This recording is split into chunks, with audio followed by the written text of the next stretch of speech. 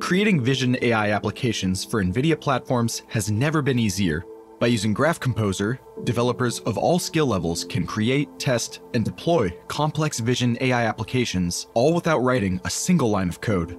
Let's see how it works. Here, you can see Graph Composer's simple and intuitive UI. Start by going to NVIDIA's free repository of optimized and accelerated extensions. You can build your pipeline with simple drag and drop operations. Choose your inputs, pre and post processing, inference, and display extensions, and quickly connect them with a simple click of the mouse. You can either leverage NVIDIA's production-ready pre-trained models or use your own.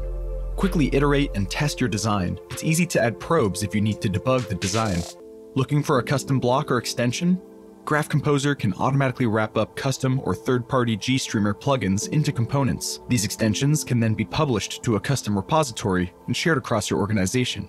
When you're ready, Container Builder can deploy your application to an NVIDIA Jetson device, NVIDIA certified server, or cloud instance with the touch of a button.